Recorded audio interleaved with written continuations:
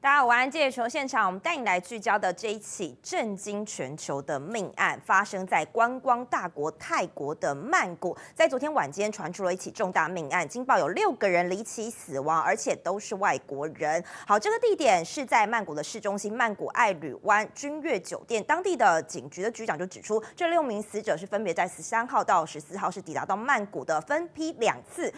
入呃进到这个君悦酒店来入登记入住，但是呢，这奇怪的是六个人入住，但他们一开始登记的是七个人要住五个房间，可是第七个人却是离奇消失，根本就没有入住，所以现在也是一个追查的重点哦。那为什么整起案件会曝光呢？原因就是本来十五号的时候他们是要退房的，但是呢，这个迟迟不退，当然房务人员就觉得怪怪的，那也敲门进去没有办法打扫。而房间后来就被发现说从里面反锁了，那后来就破门而入之后，饭店的人员破门而入之后就发现六个人经传沉尸在同一个房间里头，里头是有三名男子、三名女性，那其中有两个人是美国籍，他们都是亚裔，另外四个人是越南人。一开始警方就高度怀疑说是不是跟治安是有一些关系的，可能是跟枪击案有关，但是后来进一步的追查之下，发现跟枪击案是没关系，而是。中毒身亡是氰化物中毒，但现在有各种的疑点，警方还在抽丝剥茧。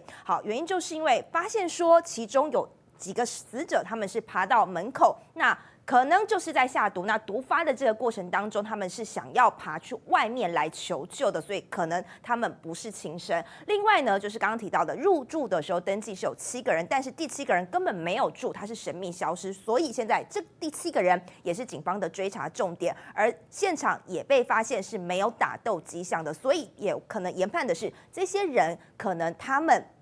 所谓的中毒不是自愿的。好，另外呢，这个泰国的警方现在还在进一步的追查之下，也。掌握了相关的一些证物哦，包括他们用过的餐点，还有这个喝过的茶水等等的。可是可以看到这个画面当中，这是他们当天晚间叫的这个餐点，可以看到呢，其实这些餐点根本就没有被使用过，或者说可能只有使用一点点。那这个茶水的话，当然也是另外一个追查重点。那现在警方就发现说，这个茶水杯底有可疑的物质，要再进一步的。化验，那现在警方就怀疑，高度怀疑说，行凶者可能是先下毒杀害其他的五个人，也跟他一起旅行的这些人，然后之后自己再轻生。但是到底动机为何呢？目前锁定三个方向，第一个是有可能是跟商业利益有关系，另外有可能就是这些人他们自己有一些私人的恩怨，还有一个说法是说有可能涉及邪教。好，不过对于泰国来说，当然现在非常的紧张了，因为在市中心，而且还是高级的君悦酒店。居然发生了这么重大的命案，惊动了泰国总理。泰国总理赛塔现在就下达指示，要尽速调查整起的命案。他更表示说，不希望整件事情影响到泰国的形象，或者是说对旅游业造成进一步的冲击。持续来听一下泰国警方的进一步说法。ภาพพบว่าเป็นสารไซยาไนด์นะครับอยู่ที่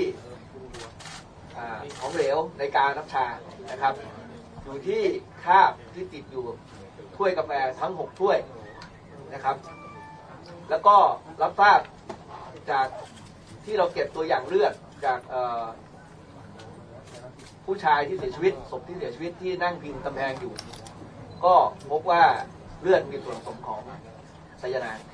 泰国曼谷的这一起重大命案是有六个外国人被发现沉尸在曼谷市中心的君悦酒店，是集体死亡，一度传出可能是枪击，但后来警方证实是氰化物中毒。这六名死者当中被发现说有两个人是持有美国籍的，所以现在美国国务院对此表示关注。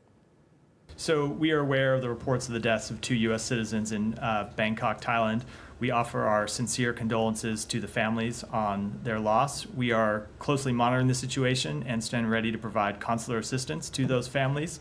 Whenever a U.S. citizen dies in a foreign country, uh, local authorities are responsible for determining the cause of death. Um, we do reach out to local authorities often to um, uh, to communicate them about to communicate with them when it involves the death of a U.S. citizen, and we will certainly be doing. 美国国务院现在表示会密切留意事态的发展，并且准备随时提供领事的协助。而目前泰国的警方朝谋杀方向来侦办此命案，死者当中由于是有美国的公民，所以现在 FBI 也将会协助调查整起命案。好，另外要来关注的是在中东的局势，也门武装组织青年运动现在发布了一段最新的影片，宣称说他们在红海和地中海是使用了弹道飞弹和无人机，成功袭击了三艘的船只。在整段影片当中可以看到呢，先是有东西从水面下接近这一艘的是俄罗斯籍的游轮，然后随后就发生了大爆炸。根据报道，这一艘是悬挂赖比瑞亚的。国旗是俄罗斯籍的游轮的左舷是受到了损坏。青年运动组织现在表示，这一艘的船只违反禁令前往到以色列的港口，也因此在十五号遭受到报复的袭击。美国中央司令部也证实了这桩攻击，但表示所幸没有任何人员伤亡。好，中东局势会怎么变呢？可能牵动的也是今年底的美国总统大选。现在全球都在关注的就是美国的政坛的变化。原因就是因为在遭遇了枪击之后，美国前总统川普现在的政治能量可以说是大大的加分。而现在他的副手也曝光了，是俄亥俄州的参议员范斯作为他搭档，引发了话题。现在大家都关注的是这一位副手，他的背景其实他出生的是蓝领阶级，从小父母亲就离异了，他是由祖父母带。大的八岁的时候还被收养，改过两次名，童年可以说是过得非常的坎坷。而从政的经历才不到两年，他受访的时候就提到一个重点，他说美国最大的威胁是中国大陆，一旦台湾落入了北京手中的话，美国会面临萧条。党全代会和副手并肩宣告搭档成型。美国前总统川普选中的这一位到底是谁？范斯出身俄亥俄州小镇，是钢铁业衰退的地方，家人都是劳工，父母早早离异，妈妈还吸毒与改嫁，祖父母隔代教养把他带大。八岁时继父将他收养。他高中毕业后考上军校，在耶鲁拿到法学博士。二零二二年当选俄亥俄州参议员，支持者之一就是川普。今年他三十九岁，从政才一年半。他透露自己曾改名过两次，一次是随母亲改嫁，改成继父的名字。一次是自己改成母亲的姓氏，而他的著作《绝望者之歌》让他成为畅销作家，也是川普挑他当副手的重要原因。曾被翻拍成电影，描述白人劳工阶级从繁荣的美国工业地带衰退成铁锈区，居民生活贫困，而这些人正是川普的重要支持板块。范斯在成为副手后，首都受访表示，川普将和俄罗斯及乌克兰谈判，希望尽快结束此事，让美国能专注在中国大陆这个真正的问题上。So that America can focus on the real issue,